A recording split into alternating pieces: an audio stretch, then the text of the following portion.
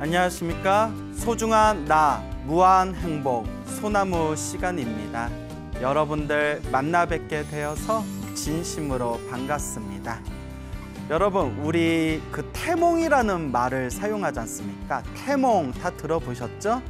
우리가 이제 아이를 가질 때 임신할 때 그때 아이를 임신할 시기에 이제 어떤 꿈을 꾸지 않습니까? 그러면 우리가 어, 더 태몽이 뭐다 뭐 이런 이야기들 흔히 사용하지 않습니까? 그 여러분들도 다 어떻게 태몽이 있으십니까? 저 아는 스님이 있었는데 음, 그 같이 공부하던 스님이었는데 어머님이 독실한 불자였다고 합니다. 근데 어머님이 이제 태몽을 꾸셨는데 그 스님 태몽이 뭐였냐면 이렇게 이제 절에 올라갔는데 절 앞에서 어느 노스님을 만났답니다. 이렇게 노스님을 만났는데 노스님이 이렇게 금시계, 은시계 이렇게 보여주시면서 어, 뭐 가져갈래 해가지고 그 어머님이 꿈에서 이렇게 은시계를 받아왔답니다. 은시계. 그러면서 그 스님이 하시는 말씀이 아유 우리 엄마가 그때 금시계를 받았으면 내가 더 큰 스님이 됐을 텐데 은시계를 받았다고. 그래서 당신이 이렇게 좀 출가 생활하다가 한 번 환속도 한 번 하셨거든요. 이제 중간에 뭐가 안 맞아서 마음에 조금 번민이 일어나서 한 번 환속했다가 다시 이제 재출가 하셔서 아마 지금은 수행을 열심히 하고 계시겠죠. 근데 이제 그 스님이 이제 그런 이야기를 참하시면서 농담 삼아서 아유 엄마가 금시계 받았으면 내가 완전 큰 스님 됐을 텐데 은시계 받아가지고 내가 2%좀 부족하다. 뭐 그런 우스갯소리를 그 스님이 하시더라고요. 그래서 같이 차 마시면서 웃은 적도 있었고요. 위인전 같은 거 보면 특히 동양의 위인전, 옛날 위인전 보면 태몽 이야기가 많이 나오지 않습니까? 그래서 위인들 보면 하늘에 태양이 어, 엄마 품속으로 들어오는 꿈을 꾸고 어, 이제 태기, 임신 을 하게 되었다라느니 뭐 또 큰 스님들 꿈에 보면 꿈에서 부처님이 어린 동자를 데려와서 어린 동자를 맡기는 꿈을 꿨는데 그 아이가 나중에 이제 커서 큰 스님이 되었다. 뭐 이런 여러 가지 태몽들이 있지 않습니까? 그래서 뭐 태몽이라는 게 뭐 결국 음 너무 집착할 필요는 없지만 우리 동양인들, 우리 한국인들에게는 그런 태몽이라는 어떤 그런 꿈에 대한 징조, 그 꿈에 대한 어떤 메시지 이런 것을 조금 우리 한국인들은 어, 뭔가 의미를 부여하는 그런 경향이 있는 것 같습니다. 근데 요 태몽이라는 개념이 뭐 우리 한국인만 가지고 있는 것이 아니라 뭐 중국, 일본 할 것 없이 요 동양에서는 다들 태몽에 대한 어느 정도 개념을 갖고 있을 거고요. 심지어 2600년 전 부처님 당시에도 이 태몽이라는 개념이 있었나 봅니다. 그래서 여러분 혹시 부처님은 어떤 태몽이었을까 혹시 궁금한 적 없으십니까? 뭐 아마 뭐 불교 공부를 좀 하셨거나 부처님의 생애, 부처님의 일대기를 책으로 보시거나 공부하신 분들은 아마 우리 석가모니 부처님의 태몽을 다들 알고 계시리라 생각이 듭니다. 우리 석가모니 부처님의 태몽은 하얀색 코끼리였다고 합니다. 코끼리, 하얀 코끼리. 코끼리 아저씨는 코가 손이래라는 말이 있죠. 이제 하얀 코끼리가 이제 어머니, 어머니 마야 부인의 오른쪽 옆구리로 이 하얀 코끼리가 들어오는 꿈이 바로 석가모니 부처님의 태몽이었다고 합니다. 그래서 이 석가모니 부처님께서는 석가모니라는 뜻이 석가족에서 출현하신 성자, 성인이란 뜻이라고 합니다. 그래서 이제 산스크리트어로는 샤카무니라고 부른대요. 샤카무니. 그래서 샤카족에서 출현하신 성자. 부처님께서 샤카족이었대요. 뭐 우리 흔히 무슨 뭐뭐 뭐 아파치족, 뭐뭐 뭐 한족, 뭐 만주족, 흉노족 뭐 이런 족이란 표현이 있죠. 그와 같이 이제 부처님께서는 샤카족이라는 그런 이제 어떤 어, 가문이었는데 그 샤카족에서 출현하신 성자해서 샤카무니 그래서 한문으로 한문으로 소리를 따서 번역할 때 석가모니라고 이제 번역을 하게 됩니다.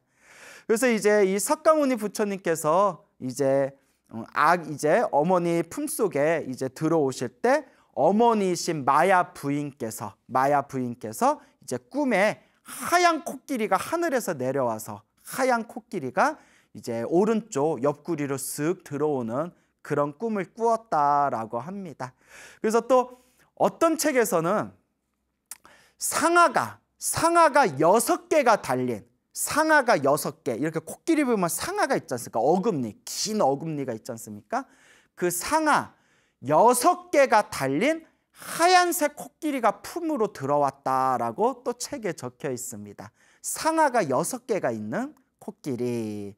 그러면 이제 코끼리가 상징하는 건 무엇일까요? 코끼리는 숲에서 그 당시 인도의 숲에서 가장 힘이 센 짐승입니다. 가장 힘이 세면서 다른 짐승을 잡아먹지 않고 풀을 뜯어먹는 그런 이제 짐승이죠. 동물입니다. 그래서 풀을 뜯어먹는 평화, 그렇게 어떻게 평온한, 평화로운, 평화를 추구하는 짐승이면서 가장 힘이 센 짐승입니다. 그래서 가장 힘이 셌고 그리고 가장 숲에서 가장 위험이 당당했기 때문에 그 당시 인도 문화에서는 코끼리를 아주 성스러운 동물, 아주 신성스러운 동물로서 이제 인도 문화에서는 코끼리를 가장 이렇게 위대한 동물 중에 하나로 이제 그렇게 상징적으로 받아들이고 있습니다. 그러니까 그 당시 인도 사회에서는 가장 이제 힘이 세고 위험이 있고 또 사람들에게 가장 위대한 동물로 이제 존경받았던 존중받았던 동물이 바로 이제 코끼리고 그리고 코끼리가 이제 하얀색이라는 것은 모든 번뇌와 망상과 집착과 업장이 완벽하게 이제 소멸되었다라는 뜻입니다. 하얀색이라는 것은 그래서 우리가 하얀색 맑고 깨끗한 것을 뜻하지 않습니까? 그래서 모든 번뇌와 모든 망상과 모든 집착이 싹 사라지신 분, 모든 업장이 다 사라지신 분. 그래서 하얀색입니다. 그리고 이제 상아가 또 여섯 개 달렸다고 했지 않습니까? 상아 여섯 개가 뜻하는 것은 육바라미를 뜻합니다. 육바라미. 육바라미 다들 아시죠? 보시, 지계, 인요. 그 다음에 어 정진, 성정, 지혜 해가지고 이제 여섯 가지의 그런 바라밀이란 게 있거든요. 그래서 모든 부처님도 우리와 똑같은 중생이었지만 우리와 똑같은 중생이었지만 수없는 윤회의 삶 동안 태어나고 죽고 태어나고 죽는 수많은 윤회의 삶 동안 이 육바람을 보시, 지계, 인요, 선정, 정진, 지혜 이 여섯 가지 바람이를 완벽하게 닦으셨기 때문에 저렇게 위대한 부처님이 되셨다고 합니다. 그래서 모든 부처님들께서는 원래 우리와 똑같은 범부 중생이었지만 성불하겠다는 목표로 그리고 모든 중생을 제도하겠다는 그런 원력으로 이 육바라미를 완벽하게 닦으셔서 저렇게 위대한 부처님이 되셨다라고 경전에서 이야기하고 있습니다. 그래서 상아가 여섯 개가 달린 하얀색 코끼리라는 의미는 이제 육바라밀, 상아가 여섯 개가 있다고 했죠? 육바라밀을 완, 완벽하게 닦으시고 육바라밀을 완성하시고 하얀색이지 않습니까? 그러니까 모든 번뇌와 망상과 집착과 업장을 완벽하게 소멸하셔서 완벽하게 뿌리채 뽑아버리고 완벽하게 닦으셔서 맑고 깨끗하고 청정한 그리고 가장 힘이 센 존재 당시 인도 문화에서 가장 신성시하던 그런 동물, 그런 상징적인 어떤 모습으로 그렇게 어머니인 마야 부인의 품속에 들어가는 그런 상아가 여섯 개 달린 하얀색 코끼리. 그게 바로 석가모니 부처님의 태몽이 되겠습니다. 그래서 여러분들은 또 어떤 태몽을 꾸셨는지 모르겠습니다. 하지만 뭐 태몽에 너무 집착할 필요 없죠. 우리가 지금 이 순간 열심히 닦는 게 중요하니까요. 그래서 부처님의 태몽이 하얀색 코끼리라서 그런지 몰라도 우리나라 불교에는 이렇게 하얀색 코끼리의 모습을 보기가 이렇게 쉽지는 않지만 저 미얀마, 스리랑카, 태국 같은 저 남방 불교에 가면 사찰, 사원 곳곳에 하얀색 코끼리 조각이 많다고 합니다. 저도 예전에 이렇게 태국에 한번 태국에 있는 사원에 한번 예전에 갔던 적이 있었는데요. 코로나 전에 그때 태국의 사원에 가면 어, 사원 곳곳에 이렇게 하얀색으로 아주 깨끗하게 하얀색으로 만들어 놓은 그런 하얀색 코끼리 조각상을 군데 군데에서 자주 볼 수가 있었거든요. 그래서 아 우리나라에서는 이 하얀색 코끼리 조각상을 한국 불교 사찰에서는 그렇게 이제 자주 볼 수 있는 그런 모습은 아니지만 요 남방 불교에서는 부처님의 태몽이었던 하얀색 코끼리를 굉장히 상징적으로 그런 어떤 존경의 의미로서 사원 곳곳에 많이 배치했구나라는 것을 발견할 수가 있었습니다. 그래서 이와 같이 이런 부처님 태몽이 코끼리라서 그런지 몰라도 어, 우리 불교는 그 코끼리와 관련된 이야기가 굉장히 많습니다. 그래서 또 우리 대승불교에 보면 대승불교는 수많은 보살님들이 있지 않습니까? 뭐 문수보살, 관세음보살, 대세지보살, 보현보살, 지장보살 수많은 보살님들이 있지 않습니까? 그 중에 또 대표적으로 가장 유명하신 보살님들 두 분이 지혜를 상징하는 문수보살과 실천, 행원을 상징하는 보현보살님이 계시지 않습니까? 그래서 우리가 문수보살 모습과 보현보살 모습을 이렇게 살펴보면 문수보살님은 이렇게 사자를 타고 있는 모습으로 많이 나타나십니다. 사자. 사자 중에서도 퍼런색, 파란색, 푸른색 사자를 타고서 나타나시는 그런 모습들이 이제 많이 조각되어져 있거나 불화를 통해서 그림을 통해서 우리가 살펴볼 수가 있죠. 그리고 보현보살님 같은 경우에는 코끼리를 타고 있는 모습으로 많이 나타나십니다. 그래서 이제 경전에 보면 보현보살님께서 코끼리를 타고 이렇게 중생들 앞에 놔두셔서 중생들을 제도하신다. 이런 내용들을 경전에 보면 자주 나오거든요.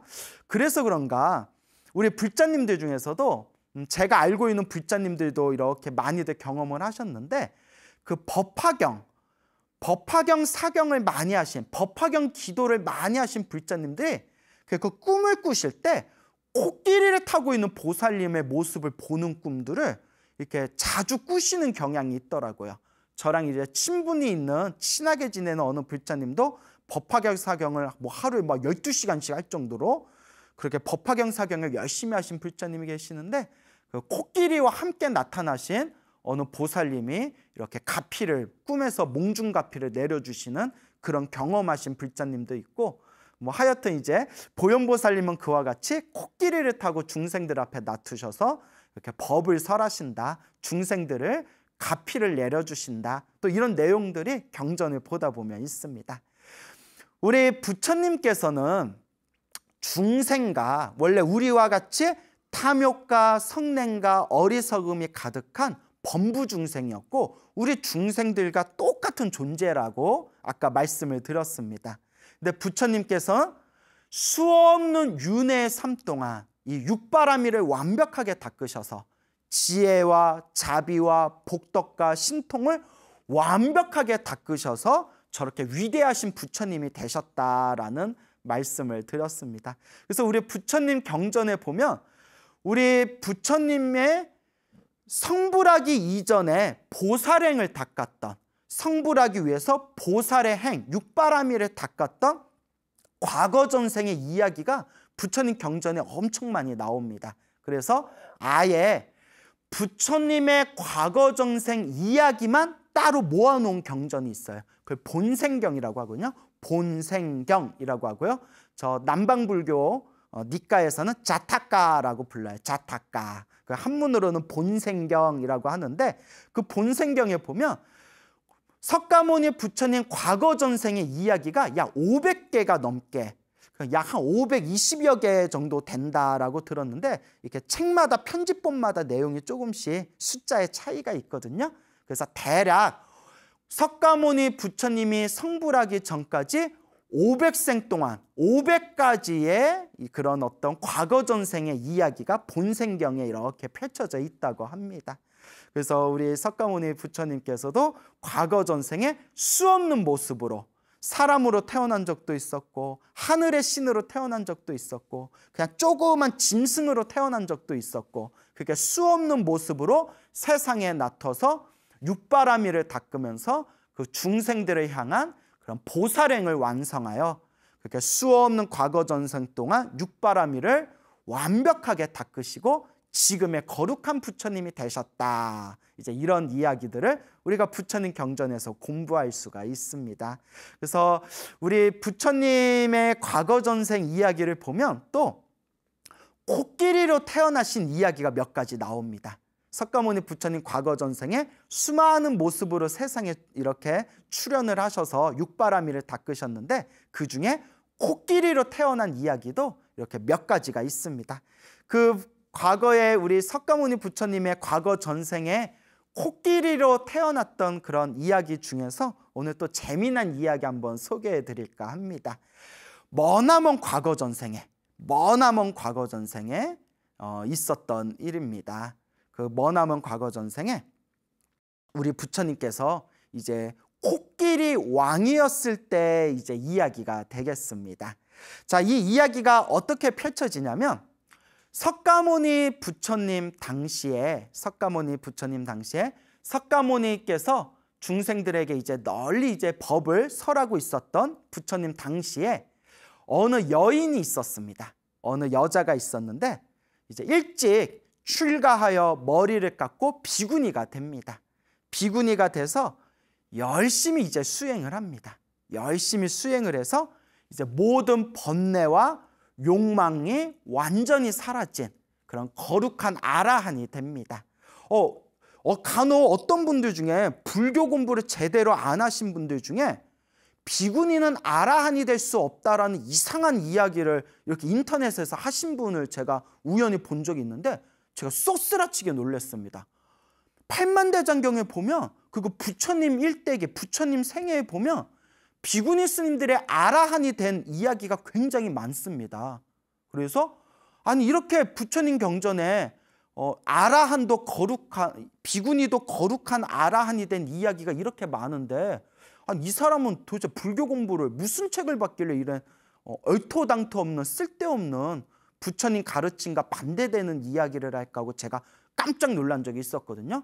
그러니까 우리 불자 여러분들께서도 요새는 가짜들이 너무 많아가지고 부처님 가르침도 굉장히 자기 삿땡겨내로 왜곡해서 설명하는 사람들이 이렇게 주변에 보면 제법 많은 것 같습니다. 그러니까 우리 불자님들도 반드시 부처님 경전에 근거를 두고 공부하셔야 됩니다. 항상 우리의 교과서는 부처님의 경전이다라는 걸 꼭 명심하시길 바랍니다.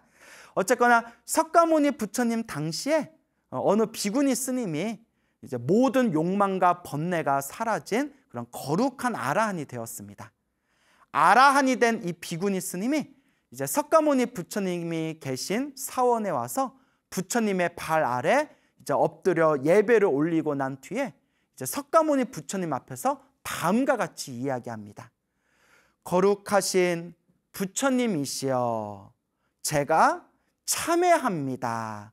저의 참회를 받아주시옵소서, 저의 잘못을 받아주시옵소서라고 아라한 비구니 스님이 부처님 앞에서 합장하고 부처님 발 아래 참회를 올립니다. 그때 석가모니 부처님께서 그대여 그때 이미 그대의 참회를 받았느니라. 이미 그때 그대의 참회를 받고 이제 모든 것을 다 용서하였느니라라고 석가모니 부처님께서 이야기하시는 거예요. 그 옆에 있었던 그 곁에 있었던 다른 비구 스님들께서 깜짝 놀래가지고 비구 스님들이 석가모니 부처님께 아뢰입니다. 부처님이시여, 세존이시여, 저 비구니가 무슨 잘못을 했길래 부처님께 참회 올리겠습니다, 참회하겠습니다 라고 말한 것이며 부처님께서는 저 비구니를 언제 보셨길래, 언제 보셨길래 그때 이미 너의 참회를 받았다, 너의 참회를 이미 그때 다 받고 용서했다라고 말씀하시는 겁니까? 저희들이 부처님께서 하신 말씀을 저희가 잘 이해하기가 어렵습니다라고 비구 스님들이 부처님께 아뢰입니다. 그때 부처님께서 다음과 같이 말씀하십니다. 이것은 머나먼 과거 전생의 인연이니라. 지금 그 인연을 설할 터이니 그대들은 자세히 들어라 라고 이제 말씀을 하십니다. 머나먼 과거 전생에 아주 머나먼 과거 전생에 어, 황금색, 황금 상아를 가지고 있는 코끼리 왕이 있었다고 합니다. 황금색 상아를 가지고 있는 아주 덩치가 크고 힘이 센 이 코끼리 왕이 있었는데 코끼리 왕은 500마리의 코끼리를 거느리고 있었다고 합니다. 그리고 500마리의 코끼리를 거느리고 있는 이 코끼리 왕에게는 이제 두, 두 암컷 코끼리 부인이 있었다고 합니다. 그래서 두 이제 두 이제 암컷의 이제 코끼리 부인이 있었는데 이 두 코끼리 이 부인들이 이제 한 분의 이제 코끼리 왕을 남편으로 모시고 이제 같이 살고 있지 않습니까? 그때 요 코끼리 왕이 어느 날 숲에서 아주 예쁘게 생긴 연꽃을 발견했다고 합니다. 그래서 그 연꽃을 아주 예쁘게 생긴 그 연꽃을 이렇게 따가지고 아마 코로 땄겠죠. 코끼리 아저씨는 코가 손이니까 이제 코로 그 연꽃을 이렇게 예쁜 연꽃을 딴 뒤에 아 이걸 부인들한테 가져다 주면 우리 어, 코끼리 부인이 좋아하겠구나라고 하면서 부인에게 주려고 했는데 그때 둘째 부인이 둘째 코끼리 부인이 이제 좀 이렇게 이제 욕심이 많았나 봐요. 그걸 자기가 너무 갖고 싶어 가지고 코끼리 왕이 이제 따온 연꽃을 자기가 몰래 이렇게 훔쳐갑니다. 둘째 부인이 둘째 이제 코끼리 부인이 그 연꽃을 싹 훔쳐가고 이거 우리 코끼리 왕 우리 남편이 이거 나 선물로 줬다 막 이렇게 이제 자랑을 했겠죠. 첫째 부인이 첫째 코끼리 부인이 그걸 딱 보고 부러움과 질투와 시기심을 느끼게 됩니다. 그러니까 이거 코끼리도 막 질투를 느껴. 그래서 첫째 부인이 막 질투와 시기심 때문에 아 이제 봤더니 우리 남편 코끼리 왕은 둘째만 사랑하는구나. 둘째만 사랑해서 둘째한테만 저 연꽃을 줬구나. 이렇게 이제 오해하게 됩니다. 사실 코끼리 왕이 연꽃을 하나만 따온 건 사실이지만 그걸 이제 몰래 훔쳐간 거는 사실 둘째 코끼리 부인이 몰래 훔쳐간 건데 첫째는 첫째 부인은 우리 코끼리 왕이 둘째만 사랑해서 꽃을 둘째에게만 줬구나. 이렇게 복, 어떤 시기심, 질투, 슬픔, 그리고 거기서 미묘한 복수심. 니들 얼마나 잘 사나 보자. 어? 어떻게 네가 나한테 이럴 수가 있어? 막 이러면서 마음에 막 한이 사무치게 됩니다. 그래서 시름시름 이 첫째 코끼리 부인이 시름시름 앓다가 결국은 죽어버리게 됩니다. 아, 아유 얼마나 한이 사무쳤길래 그렇게 이제 가슴에 상처를 맺혀서 그렇게 죽게 되었을까요? 그리고 첫째 코끼리 부인이 그래도 코끼리로 살았을 때 선업을 많이 지었나 봐요. 이 시름시름 앓다가 슬픔과 질투와 시기심과 그 미묘한 복수심으로 너희들 잘 되나 어디 보자. 내가 반드시 너 복수할 거다. 어떻게 나한테 이럴 수가 있어? 뭐 이러면서 죽었던 그 첫째 코끼리 부인이 죽은 뒤에 이제 아주 좋은 집안, 좋은 가문의 여자로 태어나게 됩니다. 그리고 이제 무럭무럭 자라서 이제 홍기가 찼을 때, 뭐 옛날 기록에 보면 막 14살이나 15살에도 막 시집 가고 그랬지 않습니까? 그래서 이제 14살, 15살이면 지금으로 치면 중학생인데 예, 15살에 막 시집 가고 애 낳고 했지 않습니까? 어쨌거나 귀한 가문, 좋은 가문에 태어난 요 첫째 코끼리 부인이 이제 여자로 태어나서 무럭무럭 자라가지고 왕을 만나서 왕과 결혼을 해서 이제 왕비가 됩니다. 왕비가 됐는데 얼굴이 엄청 예뻤나 봐요. 어, 전생에 복을 많이 지었나 봐요. 얼굴이 엄청 예쁘고 얼굴에 막 귀티가 자르르 흐르니까 왕의 사랑을 독차지했나 봅니다. 그런데 이, 이 왕비의 마음에서 갑자기 이런 생각이 드는 겁니다.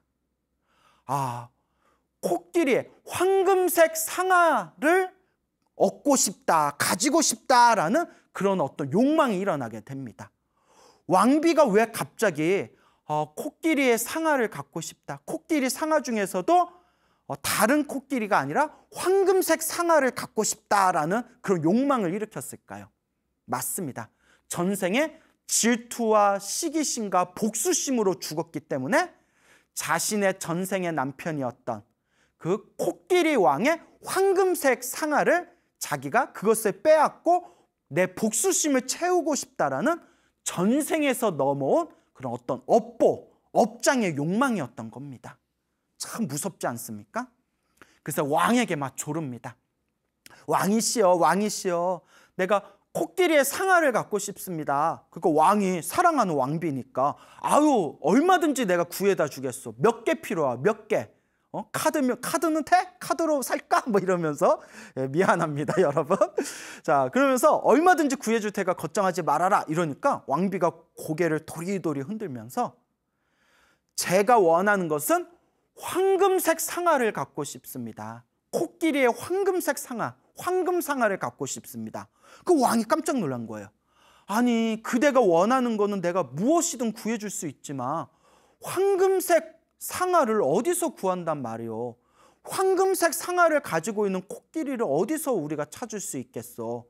근데 사랑하는 왕비가 너무나 간곡하게 원하니까 이제 나라에다가 널리 이제 사람들에게 다음과 같이 이제 명을 내립니다. 누구라도 코끼리에 황금색 상아를 가지고 오는 사람이 있다면 어마어마하게 큰 상금을 내리리라. 어마어마하게 큰 상을 내가 하사하겠노라라고 이제 전국에 널리 이제 명을 내립니다. 그때 어느 사냥꾼이 있었는데 그 사냥꾼이 이 이야기를 듣고 깜짝 놀란 겁니다.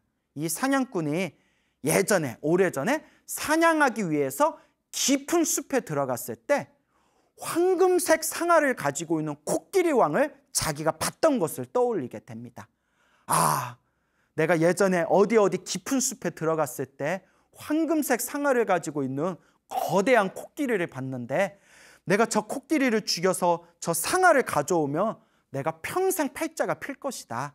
그래, 내가 가서 음, 저 코끼리를 죽여서 황금색 상아를 가져와야겠다. 근데 문득 이런 생각이 듭니다.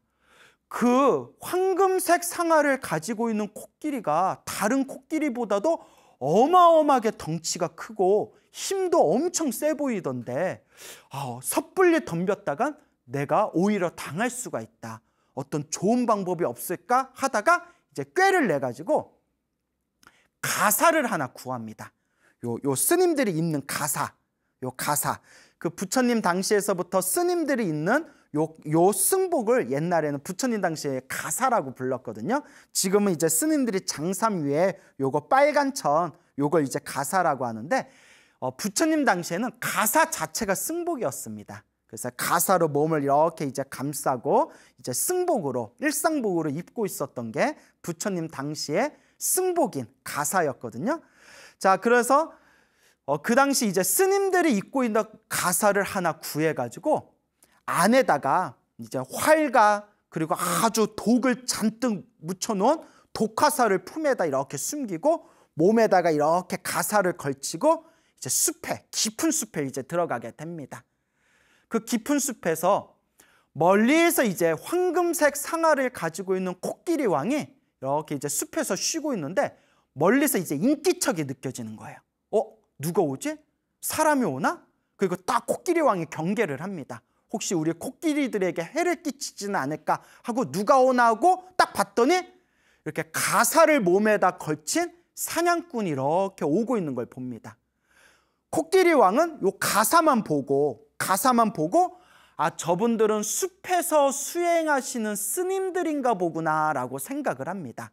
그래서 코끼리 왕은 자기 경험상 어렸을 때부터 지금까지 숲에서 살면서 저 붉은색 가사를 입고 있는 사람들은 동물들에게 해를 끼치지 않고 어, 그리고 어, 다른 동물들에게 이제 살생을 한다거나 나쁜 짓을 하지 않고 숲에서 고요하게 앉아서 명상하는 분들이다라는 걸 어렸을 때부터 봐왔기 때문에 가사를 걸치고 몸에다가 가사 안에다가 이제 활과 화살을 몰래 숨겨가지고 오는 그 사냥꾼을 보고 경계심을 풀어버립니다. 아, 숲에서 수행하시는 스님들인가 보구나. 저 가사를 걸치고 있는 분들 중에서 나쁜 사람을 나는 한 명도 보지 못했다. 그렇게 생각하고 그냥 대수롭지 않게 생각하고 있을 때 코끼리 왕과의 이 사정거리가 딱 좁혀지면서 갑자기 이 사냥꾼이 가사를 벗고 활에다가 독화살을 딱 재어가지고 그 독화살을 코끼리 왕에다가 핑 하고 이제 쏘게 됩니다. 독화살을 갑자기 맞은 코끼리 왕은 방비도 하지 못하고 착한 사람이겠거니 아니면 수행자겠거니 생각하다가 독화살을 맞으면서 그 자리에서 쓰러지게 됩니다. 그런데 워낙에 덩치가 크고 워낙에 힘이 셌기 때문에 그 독화살을 맞았지만 숨이 끊기지는 않, 않습니다. 그때 옆에서 코끼리 왕과 같이 있었던 그 둘째 부인, 어? 그래서 그 연꽃을 몰래 훔쳤던 그 처음에 나왔던 둘째 부인이 분노를 일으키면서 그 사냥꾼을 짓밟아 버리려고 합니다. 그때 코끼리 왕이 딱 멈추게 합니다. 코끼리 왕이 멈추게 하면서 둘째 부인에게 그러지 말아라.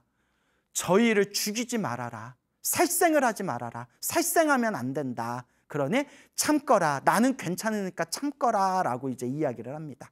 그리고 지금 이 모습을 보면 밑에 있는 500마리의 코끼리들이 저 사냥꾼에게 해를 끼칠까 봐 자기의 둘째 부인인 코끼리에게, 코끼리 부인에게 빨리 저 500마리의 코끼리들을 어서 다른 곳으로 옮겨라. 어서 안전한 곳으로 어서 피하거라. 라고 한 뒤에 이제 사냥꾼에게 다가갑니다.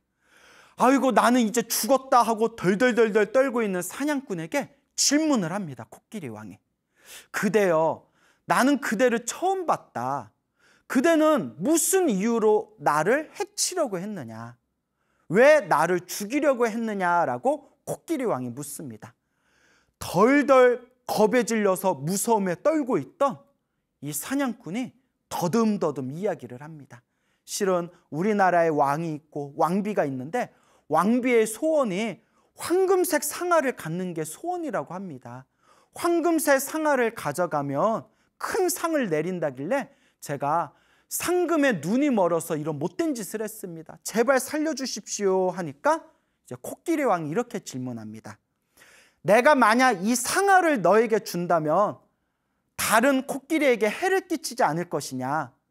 사냥꾼이 말하기를 제가 여기 온 거는 황금 상아 때문에 온 거지 다른 코끼리에게 해를 끼치기 위해서 온 것이 아닙니다. 라고 했더니 너는 반드시 그 약속을 지켜야 된다. 라고 하면서 큰 나무에다가 자신의 상아를 이렇게 박아가지고 스스로 그 황금 상아를 뽑아버립니다. 어, 얼마나 아팠을까요? 스스로. 코끼리 왕이 나무, 큰 나무에다 자기의 상아를 막 들이박아 가지고 자기 혼자 힘으로 그 두 개의 황금 상아를 뽑아낸 뒤에 피를 철철 흘리면서 그걸 이제 사냥꾼에게 줍니다. 그리고 코끼리 왕이 다음과 같이 서원을 세웁니다. 내가 내가 가지고 있는 이 황금 상아를 아무런 집착 없이 중생에게 보시한 이 공덕으로 나는 미래 생에 위없는 깨달음을 얻어서 중생들의 번뇌를 이와 같이 뽑아주리라 라고 서원을 세웁니다.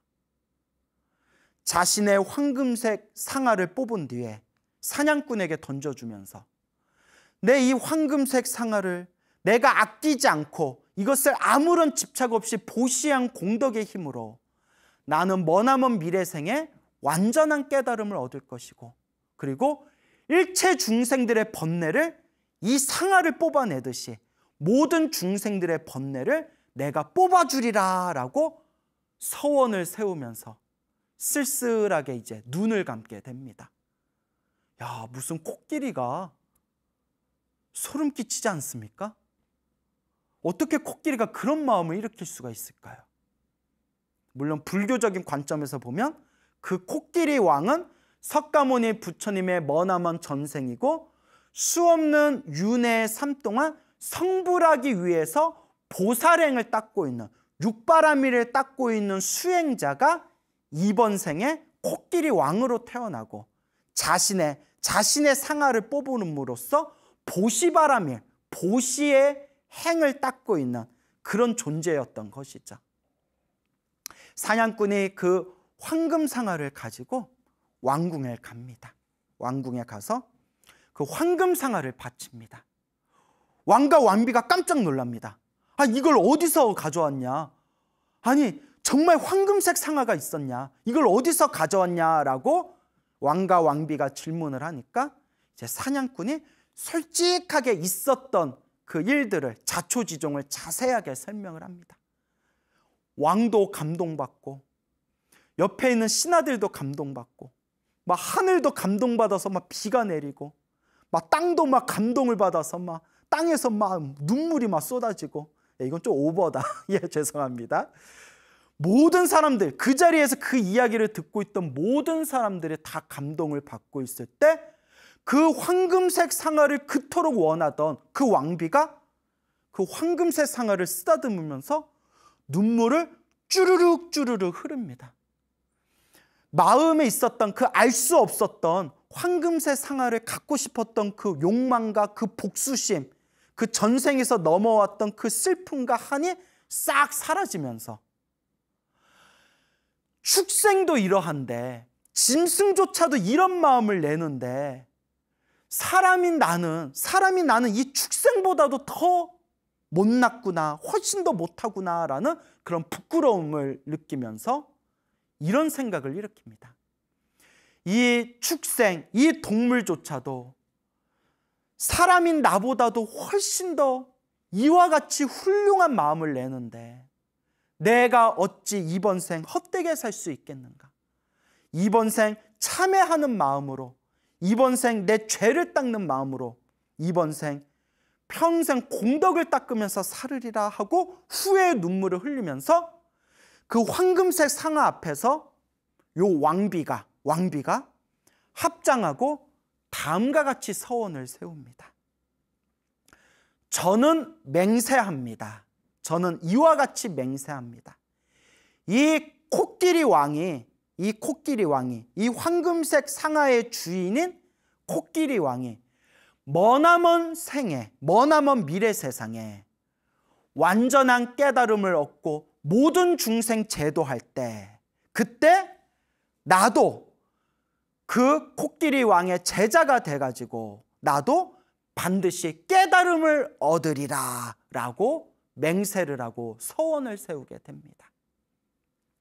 이 코끼리 왕이 머나먼 미래 세상에 깨달음을 얻어 모든 중생을 제도하는 그 시기에, 그 시대에 나 역시 그 존재의 제자가 되어서 나 또한 반드시 깨달음을 얻으리라.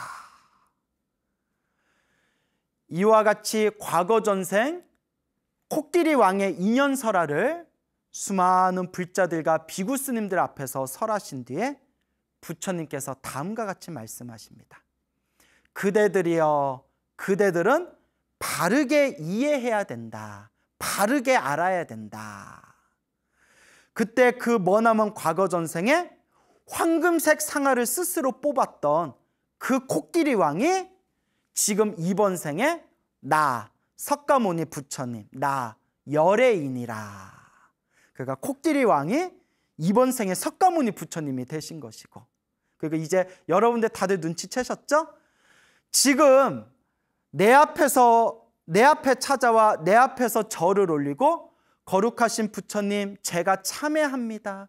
저의 참회를 받아주십시오 라고 했던 저 아라한 비구니가 바로 그때 코끼리 왕의 황금색 상아 앞에서 나도 미래 세상에 코끼리 왕이 완전한 깨달음을 얻고 중생을 제도할 때 그때 나도 깨달음을 얻으리라 라고 서원을 세웠던 그때 그 코끼리 왕의 첫째 부인이었고 시름시름 앓다가 죽어서 이제 좋은 가문의 여자로 태어나 왕과 결혼한 그 왕비가 바로 지금의 이 아라한 비구니이니라. 그때의 서원과 같이 석가모니 부처님 시대에 태어나 이와 같이 깨달음을 얻게 된 것이니라라고 법을 설하십니다. 그리고 여기에 하나가 더 들어갑니다. 그거 부처님이 뭐라고 하셨냐면 그때 연꽃을 몰래 훔쳐갔던 둘째 코끼리 부인이 그 둘째 부인 코끼리 부인이 바로 야슈다라다라고 법을 설합니다. 야슈다라 다들 아시죠? 예, 이제 부처님, 석가모니 부처님께서 출가하시기 전에 시타르타 왕자로 있었을 때 결혼했던 부인이었고 또 어, 부처님의 출가하기 전에 낳았던 아들인 라울라의 친모였고 그리고 어, 라울라도 출가하고 석가족이 출가했을 때 함께 출가해서 비구니가 되어 아라한이 된 야슈다라의 전생이 그때 연꽃을 몰래 이렇게 훔쳐간 그때 둘째 부인이었다고 합니다. 자, 그래서 이와 같이 우리의 만남과 헤어짐이 모두 다 내가 지은 인연법이구나 라는 것을 이와 같이 코끼리 왕의 이야기를 통해서 우리가 배워볼 수가 있습니다.